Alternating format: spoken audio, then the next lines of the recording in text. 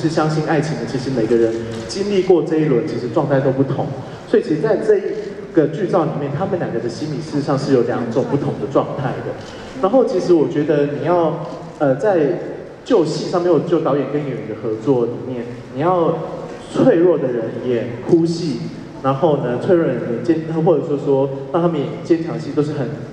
很轻而易举的事情。但是呢，如果你能够让一个很坚强的人演出脆弱的戏，例如像仔仔，或者例如说像很柔弱，呃，就是形象上比较脆弱的诗诗，可是演出一个很坚毅的选择的话，我觉得这是一个很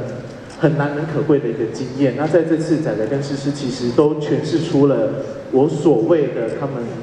细腻的那一部分。而这一张照片或者说最后一场，就是我认为是他们整段戏表演中的一个精华，因为他们用的。完全没有任何台词，却用了两个眼神，告诉你什么叫做选择，什么叫做等待，什么叫做爱。所以大家进戏院的时候，一定要好好的看这一幕。哇，来，那我们来翻出它的关键词，回到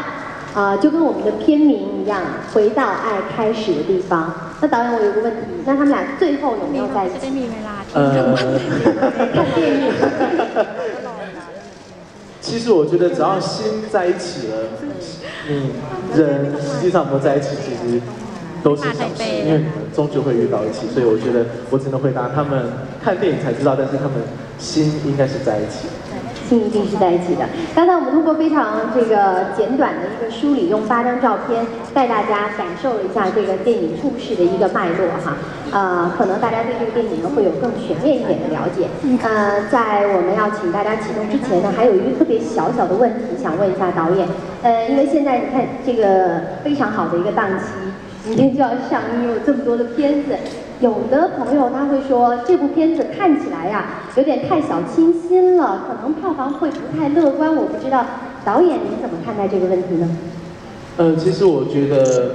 应该是说每部电影都有它自己的天命，就是说它是否票房会怎么样，或者说结局会怎么样，大家都很难去直接做预测。但是呢，评价一部电影好或者不好，其实是他在观众心中的时间。他能够在心中留得越久，然后当你难过时想起他，开心时想起他，脆弱时想起他，他就是一部值得你珍惜、陪着你走一辈子的电影。那我相信《回到爱》一定是一部可以陪着你走一辈子的电影，无论是他在票房上或者各方面的成绩。那当然，票房上呢，其实虽然我们是小清新，但是我们是小清新里面的战斗机，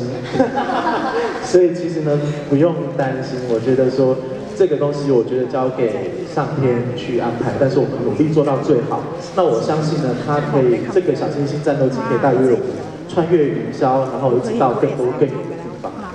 小清新当中的战斗机，还有两位拥有这么多粉丝的这个呃两位明星来这个保驾护航啊，那是不是也可以在今天跟我们所有记者朋友的这个镜头前，向你们所有的粉丝跟观众来推荐一下这部电影？